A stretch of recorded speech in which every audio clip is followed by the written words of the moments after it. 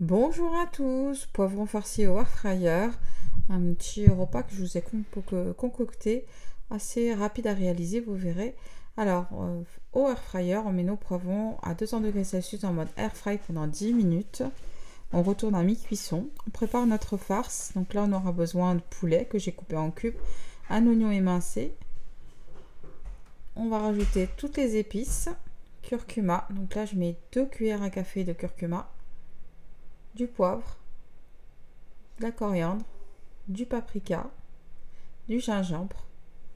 Et là, on remet le tout et on fait revenir nos poulets ainsi que notre, notre oignon. Dès que les oignons deviennent translucides et le poulet bien cuit, on rajoutera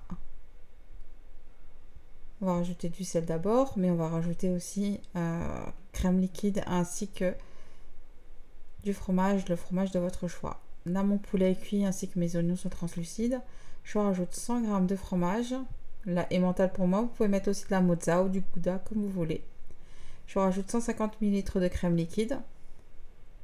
Et je continue toujours à faire dorer, à revenir, à faire revenir. Il faut vraiment que la crème boit, pas que ça soit liquide. Je rajoute une demi-botte de persil ou de coriandre à votre choix.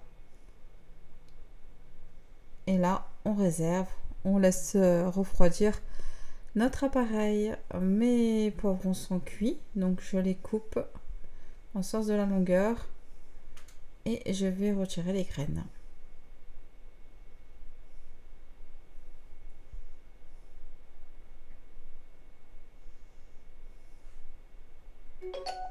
Je vais m'aider à l'aide d'un petit, euh, d'une petite cuillère, tout simplement.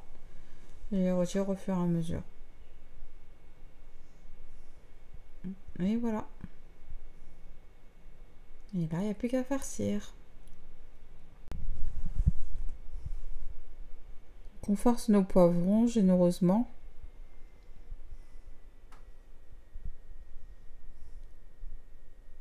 Et je vais rajouter un petit peu de fromage par-dessus. Le fromage, bien sûr, de votre choix, que ce soit mozzarella, gouda, ce que vous voulez. Ou emmental. Là, je mets de l'emmental. Mais vous pouvez aussi mettre de la mozza. Voilà, je réserve, je passe à mon poivron vert. Donc je fais la même chose. Hein. Jusqu'à épuisement de, mon, de ma farce et de mes poivrons.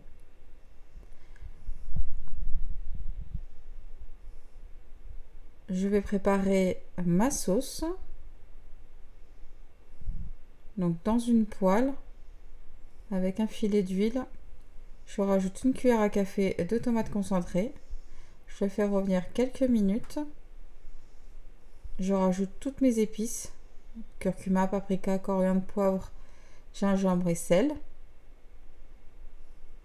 Les mêmes épices qu'on avait dans notre farce.